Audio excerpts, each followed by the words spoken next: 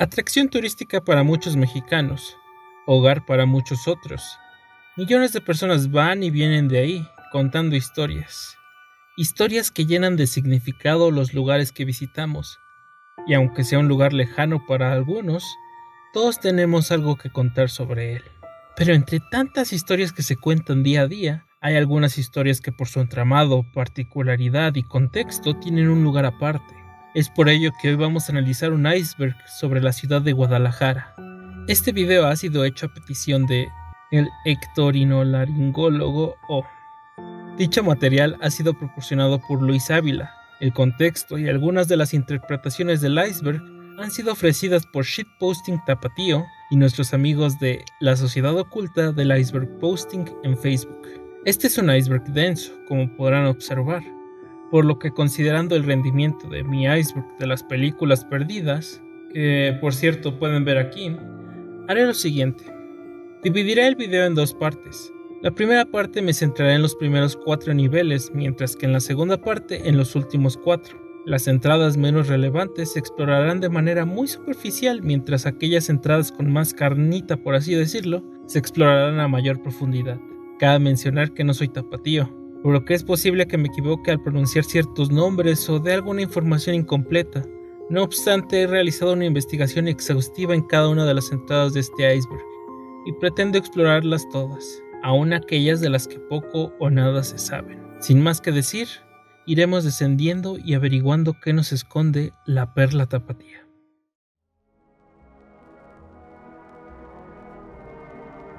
Café Madoc se trata de una cafetería muy conocida en Guadalajara, donde cuentan el servicio es excelente y el ambiente es relajado, ideal para una charla entre intelectuales mamadores. Bien podría ser el café parisino de Guadalajara, un lugar al que el tiempo parece no afectar. Quizá lo visite. La Águila del Teatro de Gollado. El Teatro Santos de Gollado es un edificio de mediados del siglo XIX, ubicado en Guadalajara, el inmueble es escenario habitual de recitales, conciertos, espectáculos de danza clásica y contemporánea. En el interior del recinto se localiza una águila dorada, que con el pico sostiene unas cadenas. Dicha águila resguarda el sitio y alrededor de ella se ha creado una leyenda, pues cuenta que en este espacio solo se presentan espectáculos de alto renombre y gran calidad. Nos dice que el día en que se presente algo que no sea digno de los escenarios del teatro, el águila soltará la cadena, y ese mismo día el edificio se vendrá abajo y sepultará con él a quienes estén en su interior. En el día de su destrucción, la ciudad de las rosas entrará en una total decadencia e inevitablemente se irá a la ruina. Se dice que el águila actúa como un juez de los escenarios del teatro. La luz del mundo. La iglesia del Dios vivo, columna y apoyo de la verdad, la luz del mundo o simplemente la luz del mundo, es una organización cristiana unicitaria y restauracionista presente en diversos países, cuya sede central se ubica en la ciudad mexicana de Guadalajara. La luz del mundo ha sido criticada por prácticas sectarias religiosas, pues planean, organizan, dirigen y controlan la vida de las personas dentro y fuera de la iglesia. Se dice que los miembros cuentan con fotos de los miembros fundadores de la iglesia, a quienes veneran de manera religiosa. El sectarismo religioso se puede notar aún más en el papel de las mujeres dentro de la organización, pues ellas no pueden orar, hablar o expresar opiniones en público, sino que tienen un lugar aparte donde se expresan por medio de las encargadas, que a su vez son las que controlan las salidas de las colonias, otorgan permisos para trabajar, realizar estudios, tener una relación de noviazgo o casarse. Resuelven los problemas del matrimonio, controlan las visitas familiares, la regulación de la natalidad y la atención médica. Su líder actualmente se encuentra en prisión a la espera de un juicio en Estados Unidos. Su sede se encuentra en la colonia La Hermosa Provincia, en Guadalajara, donde se hallan la mayor parte de sus miembros. Esta iglesia por sí sola ameritaría su propio video, así que no daremos detalles. Payaso eso del centro. En las calles del centro histórico de Guadalajara podemos encontrar una gran variedad de personajes que ofrecen espectáculos al aire libre y toma de fotografías, entre ellos superhéroes, mimos, payasos, bailarines y algún que otro militante de Morena. Pero entre los personajes que podemos encontrar ahí, hay un payaso eso, haciendo un homenaje al personaje principal de la serie de películas de terror de Stephen King, quien deambula por las calles del centro. Lo interesante de este personaje es que no pide dinero, y muchos describen su apariencia aún más terrorífica que la del personaje de la película. Se le ha visto por la Plaza de la Liberación, Chapultepec, Parque Revolución, Estación Juárez y algunos otros lugares, a veces incluso encontrándoselo a altas horas de la noche. Se trata de Pedro López de 62 años de edad, quien en sus años de vejez da vida al payaso eso. Pedro decidió salir a las calles caracterizado del mítico payaso aterrador, esperando provocar miedo, pero al final una sonrisa por parte de la gente. Criptas en la catedral. La Catedral de Guadalajara es el monumento más representativo de esta ciudad. Muchos la han visto en imágenes y es el lugar favorito para tomarse selfies mamalonas, pero este turístico lugar alberga algunas curiosidades interesantes. Entre estas curiosidades se encuentran una serie de criptas en la parte subterránea de la catedral, con los restos de todos los obispos mexicanos, una característica poco común pero interesante de la catedral. Tamaño real del ex convento del Carmen.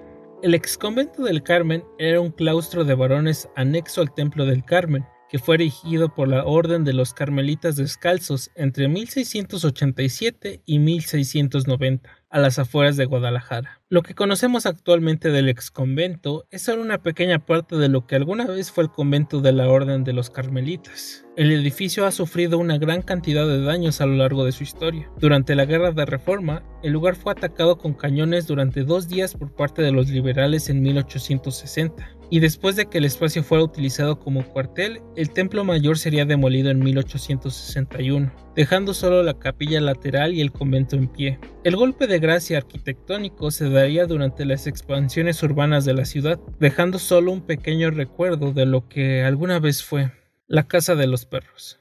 Actualmente conocida como el Museo de Periodismo y Artes Gráficas, la Casa de los Perros cuenta una leyenda misteriosa a principios del siglo XX, un rico comerciante llamado don Jesús Flores, en su vejez, contrajo matrimonio con Ana González. Después de viajar por Europa, ambos juraron que cuando él muriera, ella rezaría por él en cada aniversario luctuoso.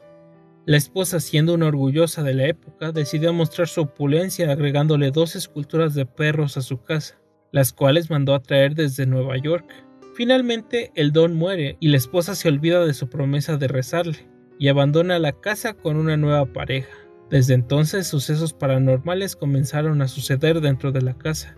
De ahí surgió la leyenda de que quien rezara un novenario en el aniversario luctuoso en el mausoleo de don Jesús Flores recibiría como premio la escritura de la famosa casa. Muchos lo han intentado, pero aseguran que salen corriendo muertos de pánico antes de los cinco minutos.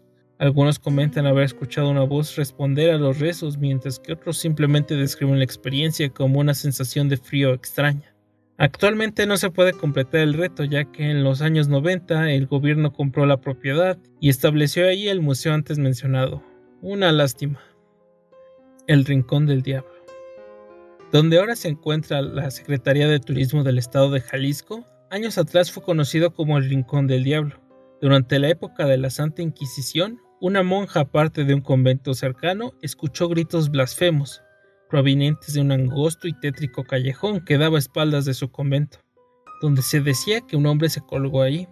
Al investigar la zona, la monja se topó con un aquelarre que se estaba llevando a cabo, donde se estaba practicando brujería por un grupo sectario. Al darse cuenta de la acción, la monja fue con un sacerdote a contar todo lo ocurrido. La siguiente noche, los oficiales del Santo Oficio les tenían puesta una emboscada, y al comenzar su ritual se suscitó un enfrentamiento entre la Inquisición y los brujos, quedando la Inquisición como ganadora. Desde entonces aquel lugar quedó con una mala energía, y cualquiera que pasara por ahí rezaba o se protegía con alguna reliquia o agua bendita. Actualmente aquellas costumbres han pasado al olvido, pero el nombre permanece como el Rincón del Diablo. Nachito.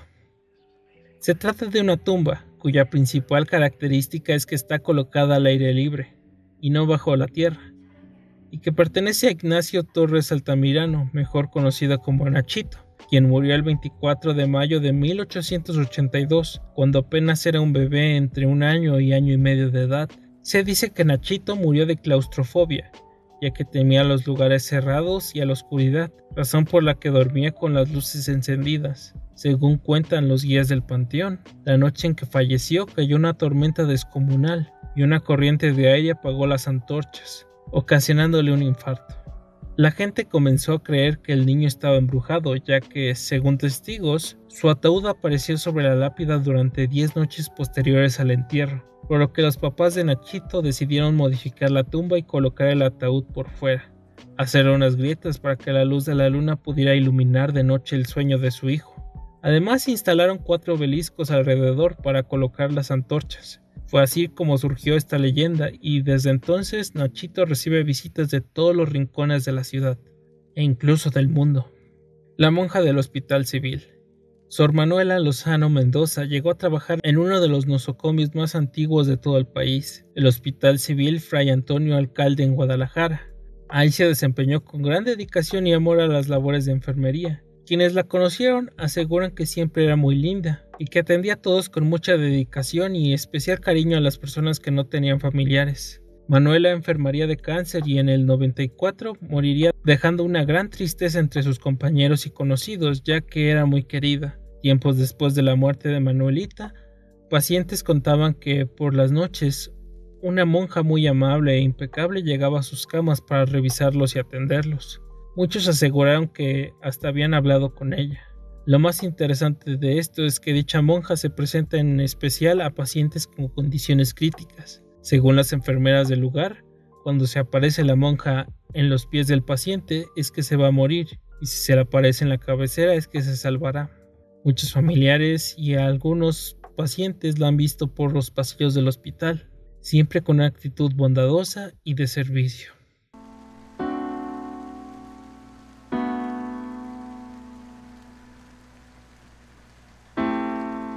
Creapellín.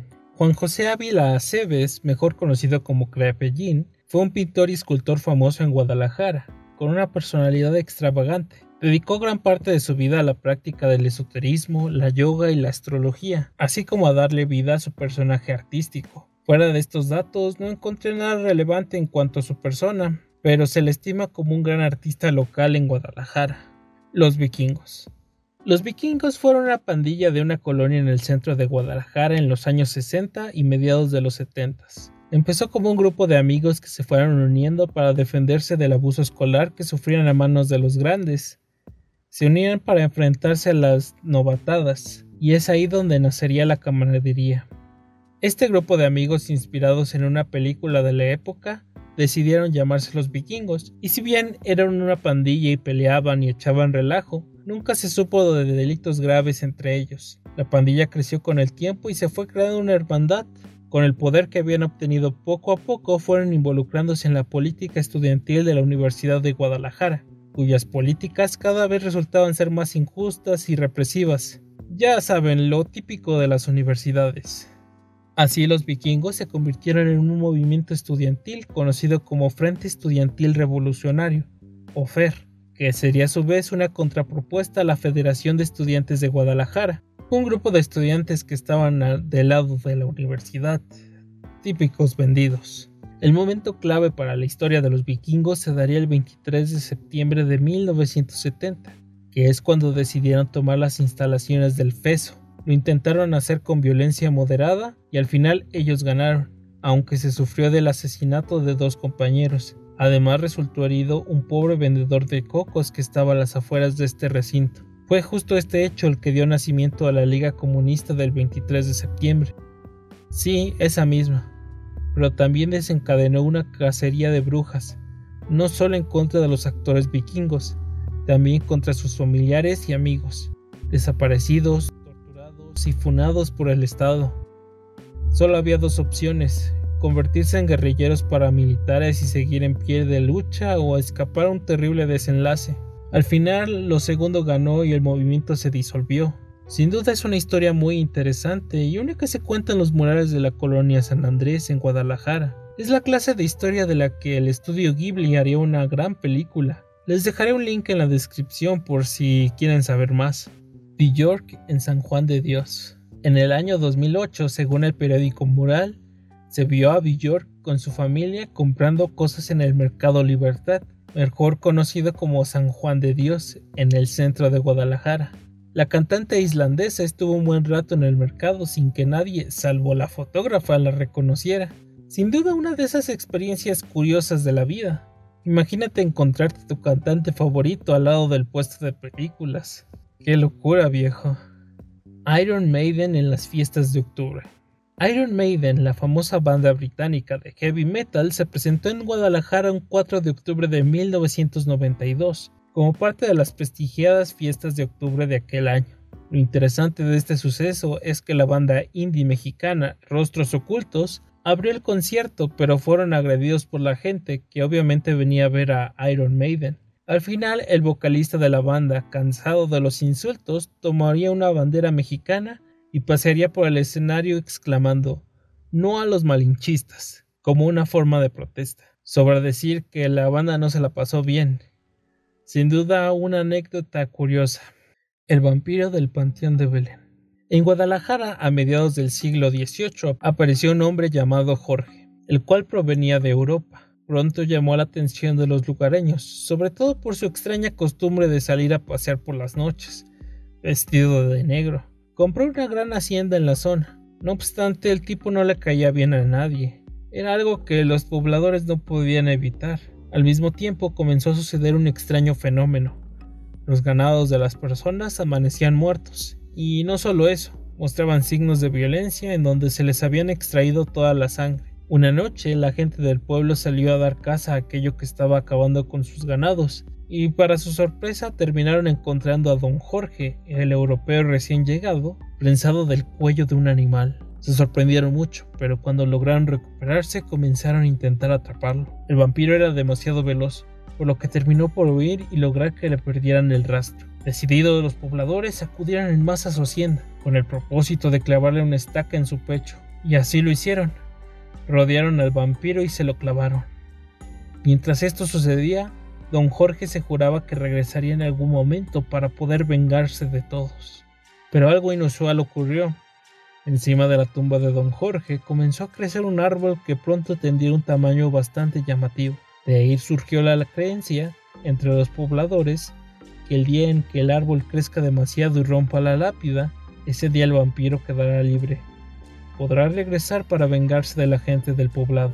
Hasta el día de hoy puedes visitar la tumba. El árbol sigue ahí, inmenso, como si fuera al mismo tiempo el guardián y liberador de tan grotesca criatura. El reloj de la muerte. Cuenta la leyenda que el Hospicio Cabañas albergó a uno de los primeros relojes instalados en Guadalajara.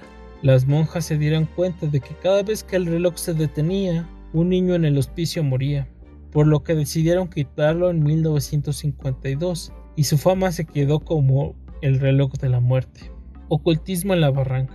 En esta entrada lo único remotamente relacionado que encontré es que un autor de una novela de vampiros llamada La Logia del Vampiro, escrita en el 92, menciona que en su novela está basada en relatos reales sobre vampiros y cultos que se practican en la barranca de Huentitlán.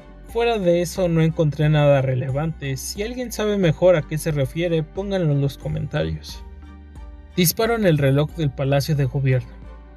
Esta entrada hace referencia a un disparo en el reloj del Palacio de Gobierno de Guadalajara.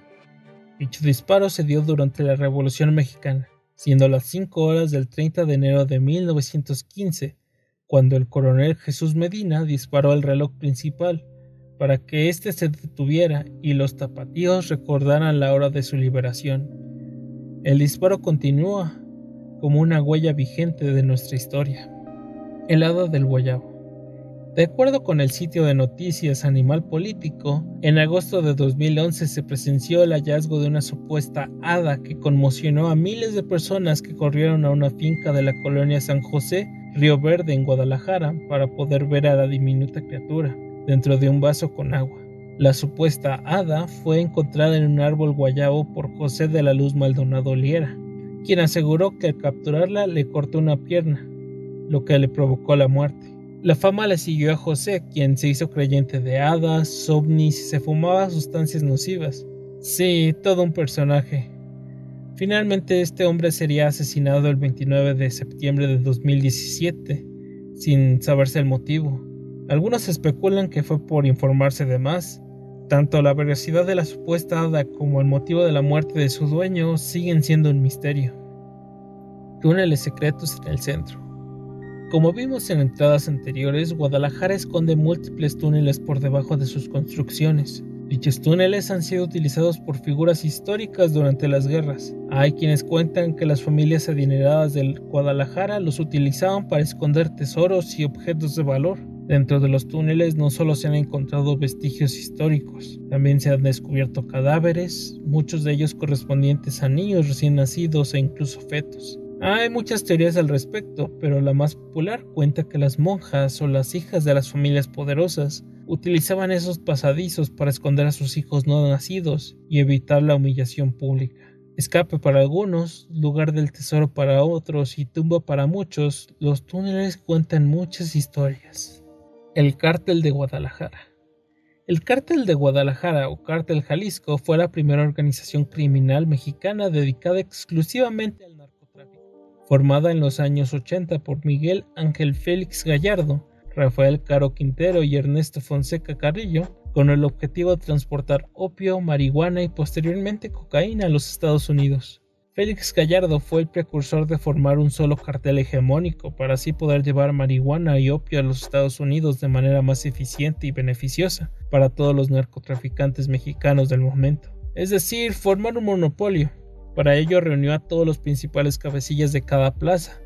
Realizaron un pacto y durante un periodo de tiempo controlaron el precio de los narcóticos, además de evitar disputas y competencias entre ellos. Con el paso del tiempo se fue fragmentando y junto con ello trajo una ola de violencia al país. Con el tiempo un nuevo cártel surgiría y sobra decir que el cártel Jalisco Nueva Generación es reconocido por ser uno de los más violentos en el país, al grado de doblegar incluso a presidentes. Ha sido tanta la historia de este cártel que requeriría de su propio video, por lo que les mandaré un video que encontré muy bueno donde se explica la historia y las acciones de dicha organización.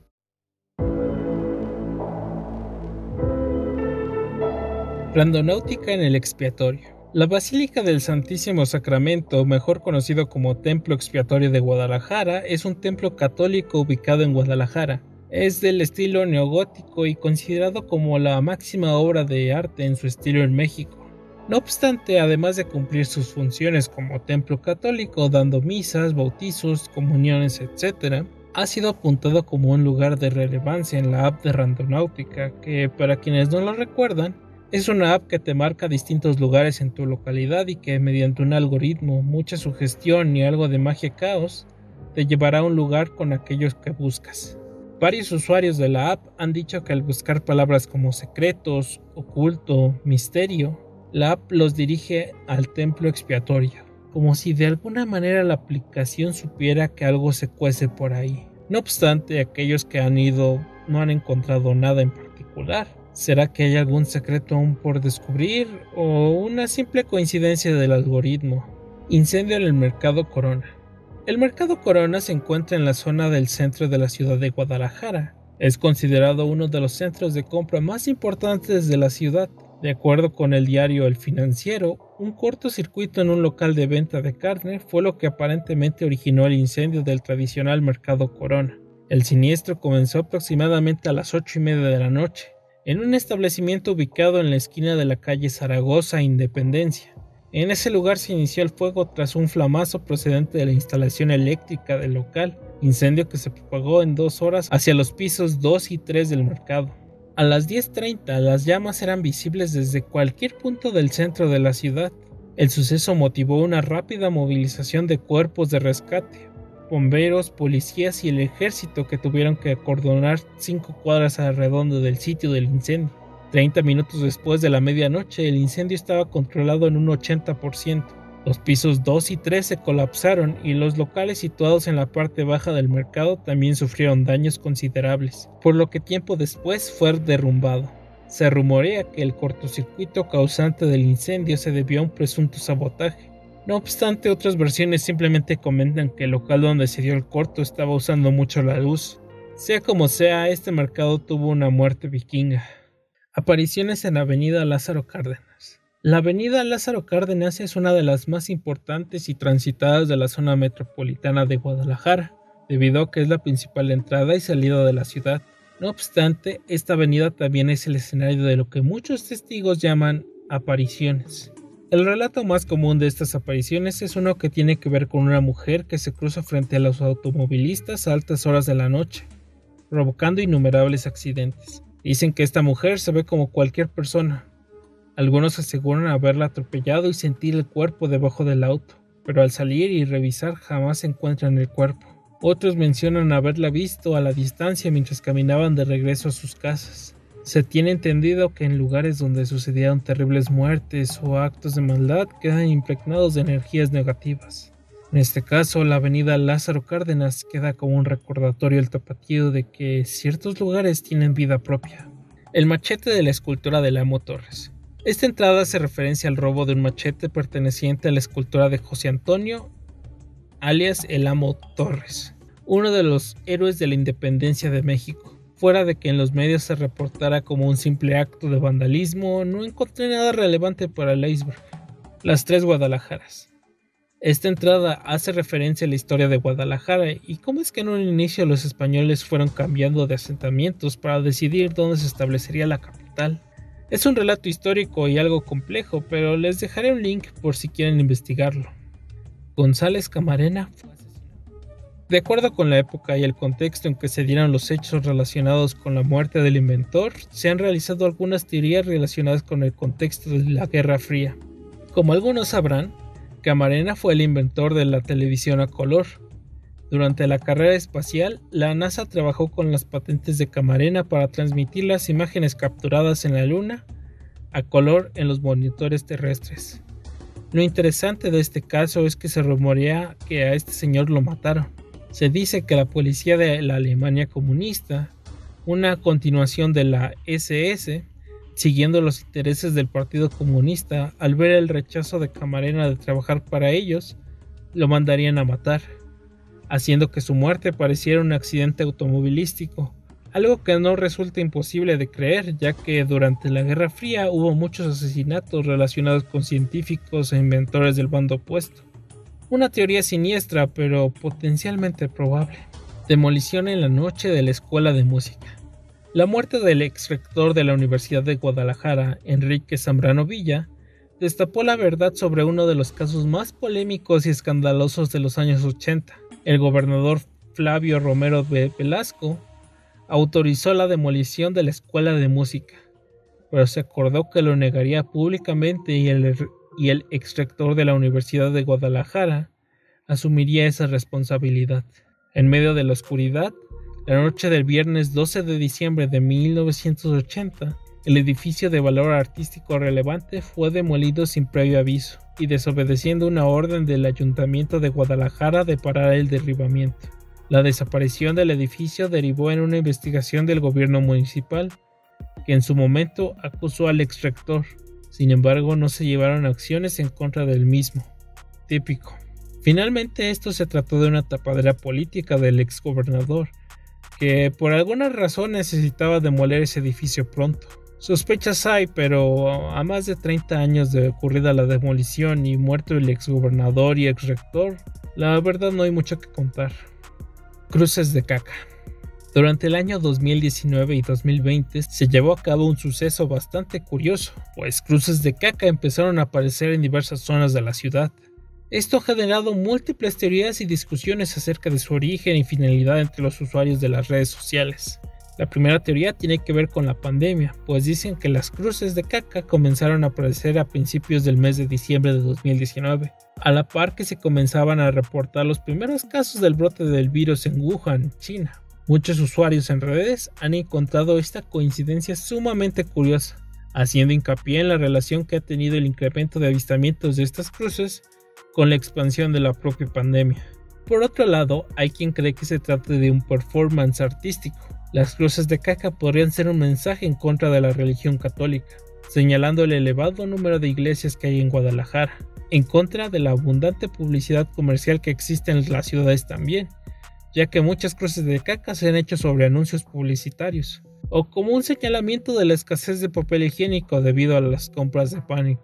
Y por supuesto que no faltan los mamadores que adjudican estos actos a una secta satánica, argumentando que estas cruces se han hecho en iglesias y templos que curiosamente forman un pentagrama en un mapa de la ciudad. Pero en realidad nadie ha podido probar nada como sucede en estos casos. Lo cierto es que nadie sabe qué onda con esto por lo que se los dejo a su interpretación. Luces en el diente. El Diente es un lugar turístico de Guadalajara, caracterizado por estar en el Cerro de San Esteban. Las rocas del lugar tienen una tonalidad color ocre y amarillo, típicas de climas áridos. Sin embargo, está rodeado de verde. Varios locatarios comentan que por las noches se ve actividad por el diente, luces en el cerro. Algunos comentan que probablemente se traten de brujas ya que se han visto bolas de fuego por la zona. Un usuario de Facebook comentó la siguiente. Hace como 20 años fui con unos amigos a explorar el diente y vimos unas huellas enormes y muy extrañas que quemaron el pasto dejando la pura tierra. Es lo más extraño que jamás haya visto. Pareciera como si algo gigantesco se hubiera aterrizado posicionado allí en ese lugar. En el podcast de Figura Pública comentan sobre dichos eventos. Ellos mencionan que el diente ha sido conocido por ser un lugar que se ha incendiado en muchas ocasiones. Mencionan que en el diente se ven muchas luces, luces como de lámparas. Se cree que el diente es un tiradero de cadáveres. La teoría sostiene que las luces vistas en el cerro corresponden a automóviles que durante la noche van a depositar cadáveres al hogar. Escape de animales de Villa Fantasía. El zoológico de Villa Fantasía es un parque con exhibición de fauna salvaje, conocido en Guadalajara por ser un parque descuidado por la administración pública, donde se reporta que la infraestructura del recinto deja mucho que desear para la conservación de la fauna importada.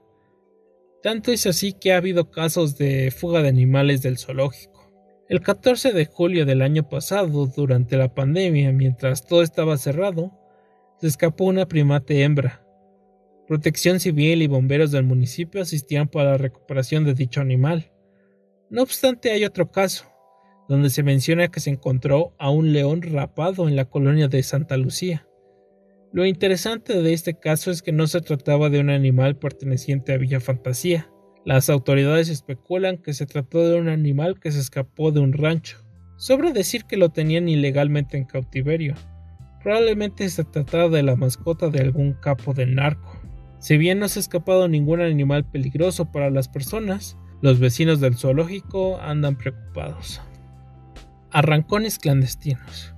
Las noches de rancones clandestinos, lejos de ser una escena de rápidos y furiosos, son en realidad una práctica añeja y tolerada por las autoridades en Zapopan. Automóviles deportivos modificados, algunos de modelo reciente y otros clásicos, apuestas fuertes entre corredores y espectadores, consumo de bebidas alcohólicas, vendedores ambulantes que ofrecen alimentos y presencia de menores de edad, y son la constante en este tipo de eventos que incluso se presumen en redes sociales. Las convocatorias se hacen en páginas de Facebook para acudir a estas competencias.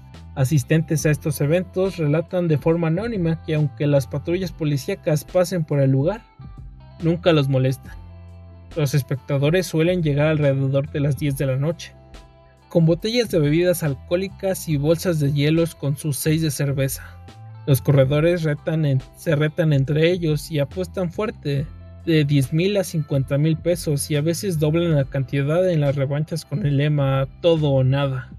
Los espectadores también apuestan por su corredor favorito, todo mientras hay música de reggaetón o banda en los automóviles para quienes quieren bailar. Ese ambiente de fiesta y verbena se convertiría en una tragedia un 27 de diciembre, cuando un vehículo Chevrolet Camaro color rojo detendría su marcha en dirección de poniente a oriente en un intento de llamar la atención y luego aceleró. No obstante, perdería el control y se impactó contra las personas que miraban las competencias. De ahí salieron dos jóvenes heridos de gravedad. Esto obligó a las autoridades a estar más pendientes del asunto, no obstante fue solo un pequeño momento, ya que después volverían todo a la normalidad. Uno de esos eventos tradicionales que cuelgan entre el delgado hilo de la legalidad.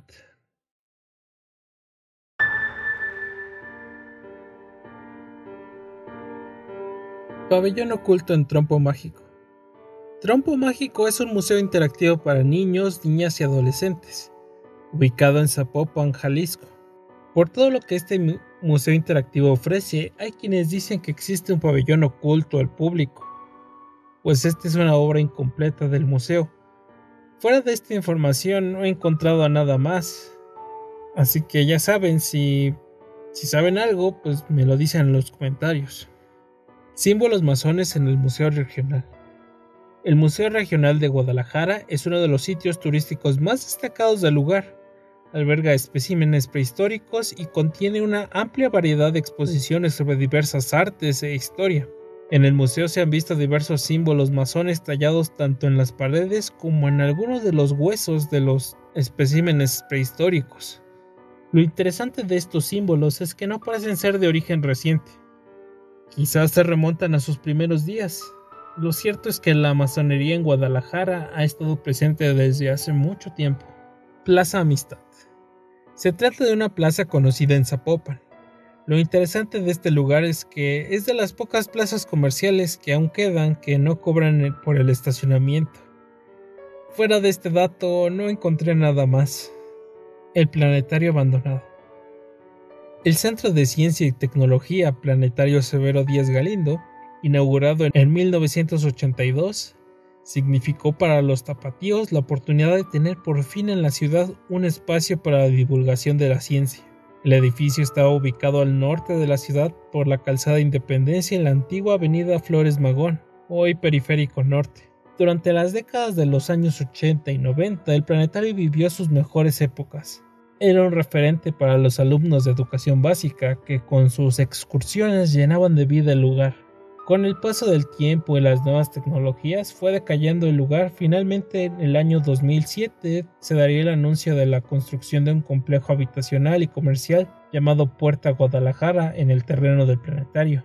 Así y en completo abandono iniciaría el desmantelamiento y almacenamiento de las piezas que entregaban el acervo del planetario aparatos, maquetas y otros dispositivos que formaban parte de la colección fueron embalados en contenedores que se colocaron en los patios de la institución, pero la rapiña y el vandalismo se hicieron presentes y gran cantidad de objetos fueron saqueados. Entre el 2009 y 2010, el planetario cerraría de manera definitiva sus puertas y el proyecto de Puerta Guadalajara no se concretaría. Se dejó en ruinas el recinto que albergó a lo mejor de la ciencia en el occidente del país. Ahora es un terreno abandonado que sirve como lugar de exploración urbana para aficionados, lugar de reunión para pandillas, para intercambios de sustancias ilegales y death drops. No obstante, se planea utilizar este terreno para construir próximamente la Arena Guadalajara. Acid Cabaret.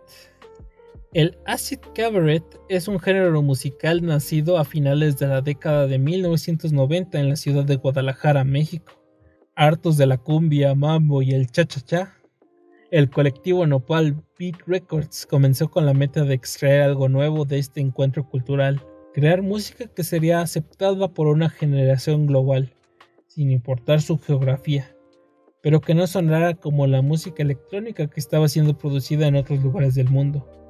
Uno de los principales iniciadores del género es Jorge HM, un productor, DJ y músico tapatío quien al experimentar ritmos trabajando para el Nopal Beat fue gradualmente tomando carácter e identidad como género musical. Les dejaré un link por si quieren saber cómo suena el Acid Cabaret. Bandada de pericos por Plaza del Sol. De acuerdo con la Fundación Ornitológica SORI, la zona metropolitana de Guadalajara podría ser el hábitat de una de las bandadas más grandes de loros montañeses. Según se informó en el año 2013, se registró una bandada integrada por al menos 140 ejemplares de la especie Amazona fieschi, conocida comúnmente como loro montañés o de corona lila. El grupo de aves, detalló la Fundación Ornitológica, es el mayor documentado en los últimos tres años. ¿Y ustedes cómo se imaginan una ciudad de pericos? Animales exóticos en el baratillo. El baratillo es un mercado de especies exóticas de animales.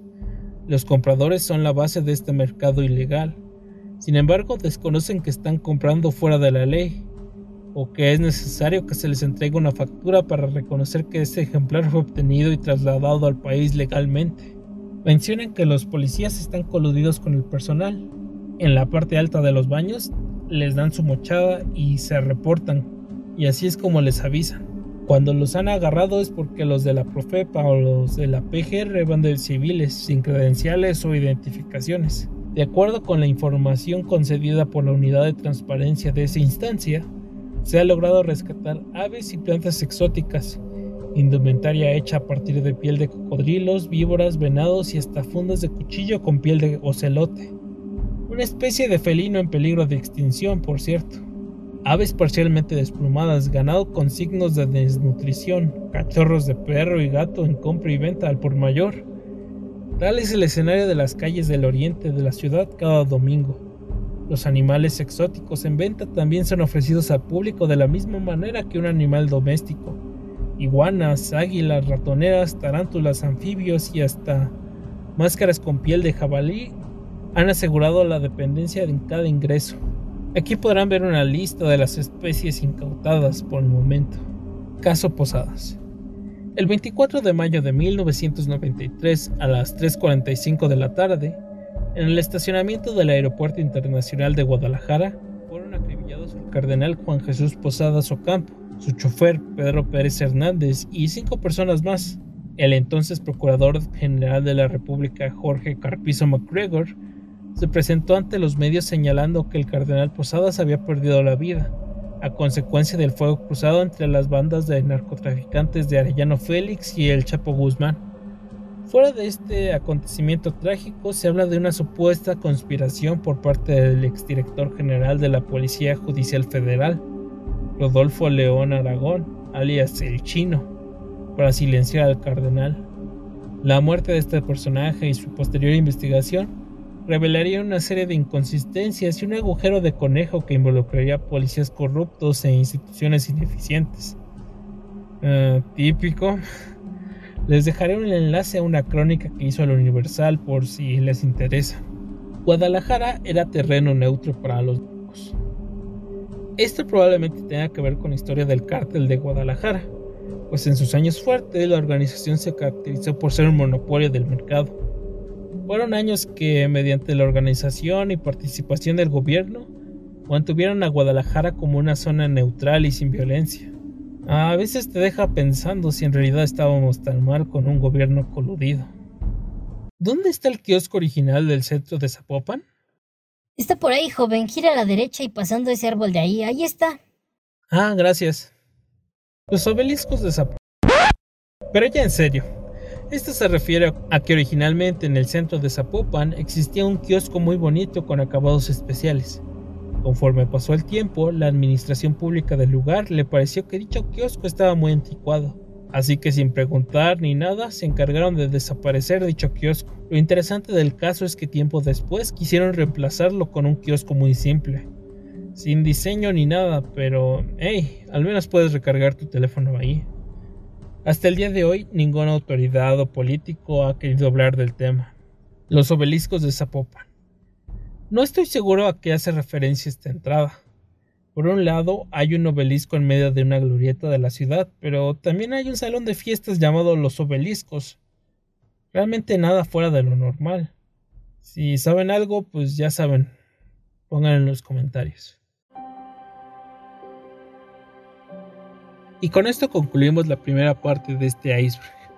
Los misterios, las leyendas urbanas y las múltiples historias que nos cuentan y que nos recuerdan lo frágil que es nuestra realidad y lo fácil que es que dichos eventos ocurran, ya se trate de una enfermera fantasma o de actos de corrupción por parte del gobierno. Es bueno tener presente que en Guadalajara todo puede pasar. Un lugar excepcional donde el cuento popular, lo inusual y lo extraordinario se unen para recordarnos que nuestra historia no tiene fin. Si te gustó el video, un me gusta y un comentario se apreciaría mucho. El siguiente video saldrá el próximo viernes, así que manténganse atentos. Si eres nuevo en el canal, te invito a ver los otros videos que he realizado. Seguro encontrarás algo de tu agrado. Suscríbete al canal si aún no lo has hecho y sígueme en Facebook, que luego ahí subo memes y micro reseñas de muchas cosas. Ha sido un placer acompañarlos. Hasta la próxima. Thank you.